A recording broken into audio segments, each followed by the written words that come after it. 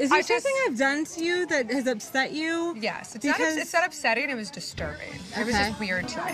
What is that? Two weeks ago, you posted a picture of yourself, poorly lit, thanking your patients, and you tagged me in it.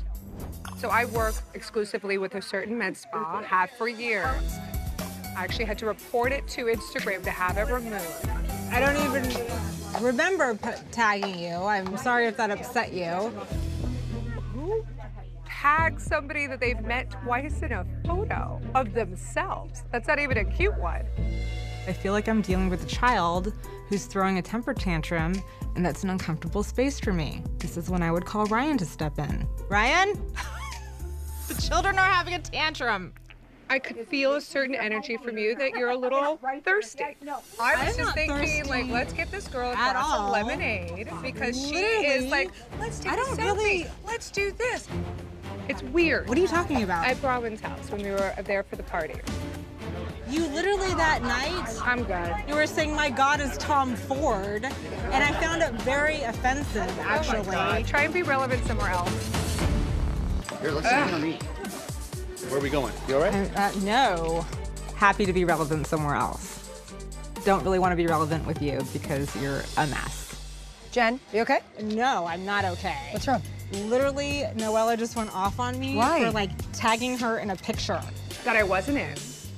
And I met you twice in the last 365 days. And like told me I was thirsty and she's getting me a glass of lemonade and for me to go be relevant somewhere else. Could you explain the lemon thing? I don't, I don't know. understand. But for you to put a picture of yourself, tag me in it, that's just shady. The only thing I would say is this. I heard something that she said about me earlier. Noella was having a really bad day. She said, she said Heather's a, a fake bitch. Oh.